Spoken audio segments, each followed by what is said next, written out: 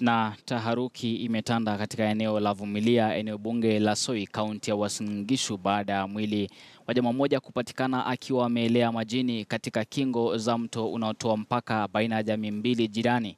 Wakazi wa jamii moja wanaonyesha kidole cha lawama majirani zao kwa madai kwamba wamekuwa wakiwapa pombe na saba zao kisha kuwatumbukiza ndani ya maji. OCPD wa Eldoret Magharibi Samuel Matunga amethibitisha kisa hicho. Sisi kama familia tunaomba jamaa mwenye alimaliza huyo jamaa achilete mwenyewe bila polisi, bila serikali. Sasa tumeshindwa, hao mama wenye mnaoa hao wakuja wafanye nini eh? Kama hakuna kusaa mtoto ni nini? Sieri sasa ukufe kuliko mambo mingi. Mnaishi makabila mengi hapa, mambo kama haya yakitokezea, tungojee uchunguzi na waomba kwa unyenyekevu, tafadhali. Hii uchunguzi nitafuatilia, lakini tutasaidiana na nyinyi wananchi. Wangapi hapa wanasema tuangamize pombe? Wekeni mkono juu. Kwa hivyo kesho kiboko ikishika mtu, hii ni uamuzi wa wananchi.